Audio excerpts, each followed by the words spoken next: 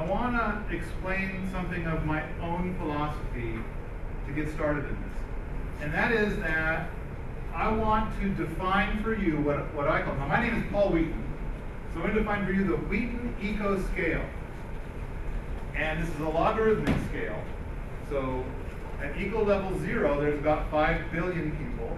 At eco level one, there's a billion people. At eco, eco level two, there's 100 million.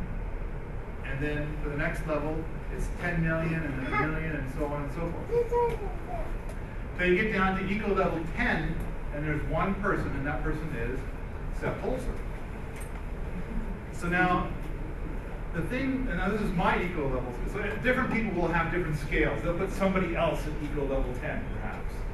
Maybe, probably not after watching this movie, but uh, uh, at about eco level 1 is where people go and buy their first fluorescent light bulbs. And at eco level 4 is when people stop buying fluorescent light bulbs.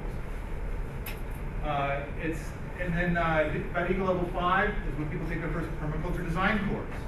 At eco level seven, they teach their first permaculture design course. So that's my eco level scale. Now, there are two properties to this scale, two observations. Observation one is, is that wherever a person is on this scale, they tend to look at people a little further ahead of them and think, those people are really cool. And then look at people a lot further ahead of them and they think, those people are crazy. and then when they look at the people behind them, those people are messing up the world. No matter where they are on the scale, everybody behind them is messing things up.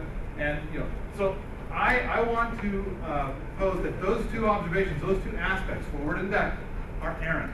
That really the mission should be to move everybody forward. If they're at level zero, maybe give them a little assistance moving to level one. If somebody's um, seems crazy.